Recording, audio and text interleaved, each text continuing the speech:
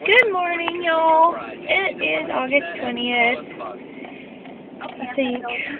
I don't even know. I forgot what day it is.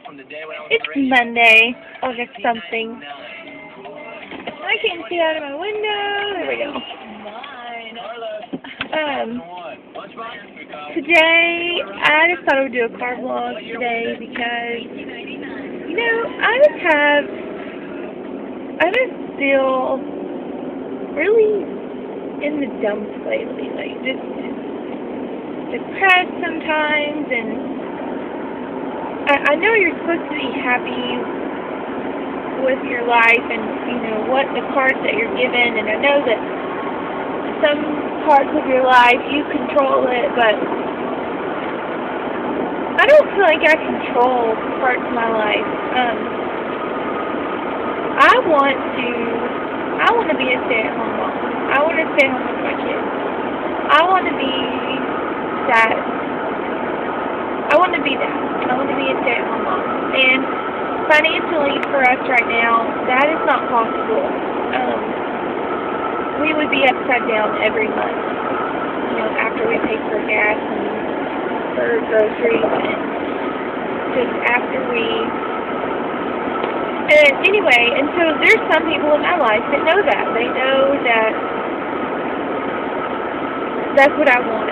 And they also know, kind of, that we're trying to have another baby. And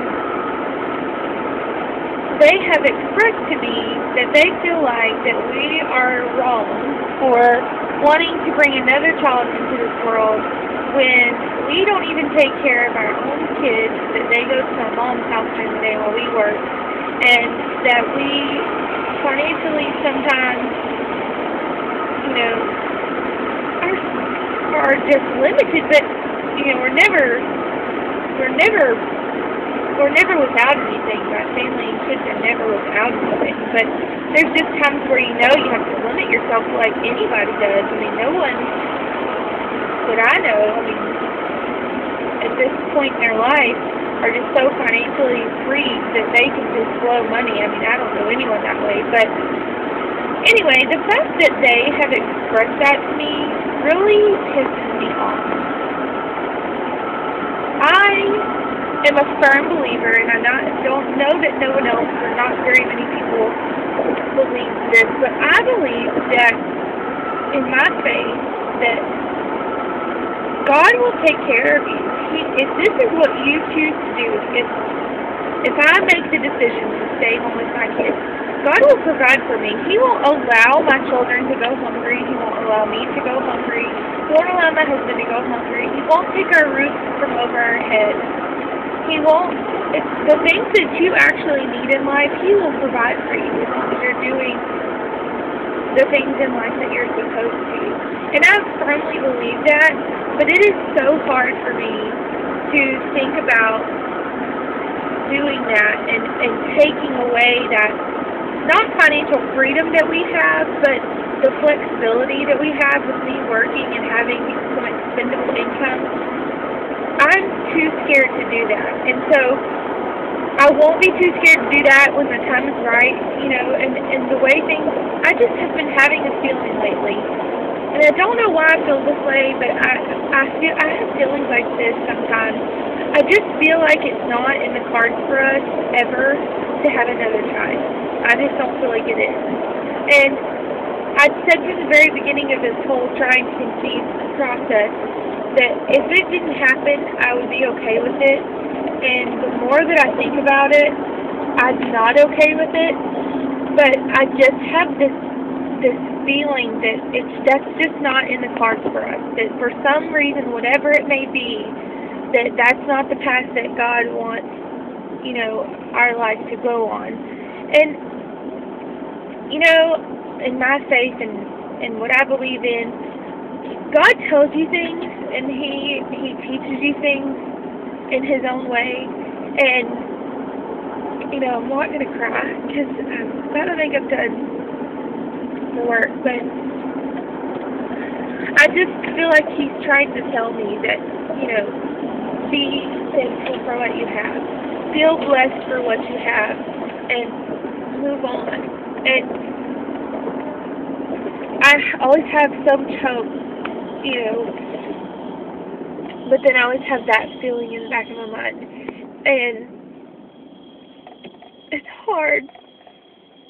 You know, and I also have, I feel like he's telling me, you know, Lana, you need to be home with your kids. You need to be home with your kids. You never get these days back. You never, you never get to have that day again, you know, with your kid and with your child, and you know, you don't pay enough attention to your home. And, and anyway, it's just I have this feeling all the time, and you can imagine how much of a struggle that is emotionally for me because you know, I don't just do something half-assed. Like I put my whole self and heart into my job when I'm at my when I'm at work, and you know, I put my whole heart and self into my family when I'm with my family. Um, but lately, like especially the past few months, I haven't been able to put my heart into my job because my heart's not there, and it, you know, and then then all these people, like, just for example, um, there are several people at church, um, and I don't think I'm everywhere. Um, there are several people at church, which I, and I always reference people at church because most of my friends are at church, but there's three, four people, uh, four families that are expecting right now one of which their little boy is the same age as and they're only a day apart. And I'm so thrilled and thankful for them that every, you know, they're all, they all were, you know, planned pregnancies and expecting, you know, just, they, it's just so exciting for, for them. And I'm just so happy for them. Um,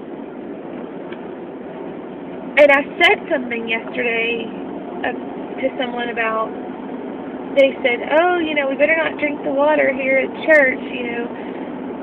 I said, I want to drink the water. And a couple of people were in the room when I said that, and they were like, you, why? Like, why would you want to do that? And I'm like, what do you mean, why would you want to do that? They're like, why would you want to have another baby? And, and I stopped and, like, defended myself. I said, here all of you are, excited for these people in our church that are having babies, all of which have other children, and like I said, one of them which has a baby the same age as Edison, but yet I tell you that I want to have another baby, and you tell me why would I want to do that? Like, it just like I was so pissed that I was I was physically upset, like sick. I just felt that is the wrong thing to say to someone, and that is the wrong opinion. If even if you have that opinion, please don't freaking express that to someone ever. If if this is how you are, like, don't ever tell somebody.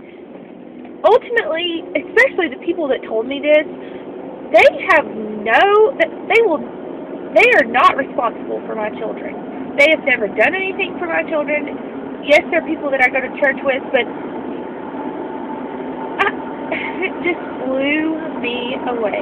It really did. I was just having a really bad day yesterday. And, you know, I've told all this before in a rant video that my family isn't supportive of me having any more children. But what I'm trying to get to is all of this is just kind of piling up on me emotionally.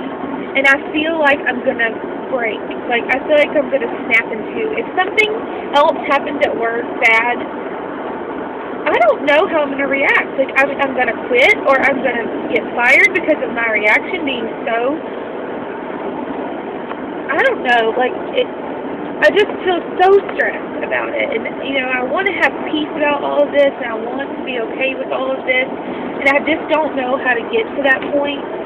Um, I don't know what's going to give or what's going to have to give or what, I mean, because either way, whether I don't work, that stress is gone, but then the financial stress is there. You know, if I do work, you know, financially we're fine, but the emotional part of not raising my own children and, you know, my child not, I mean, there's just, you do things differently as a parent, and, you know, you, it's just, anyway, I,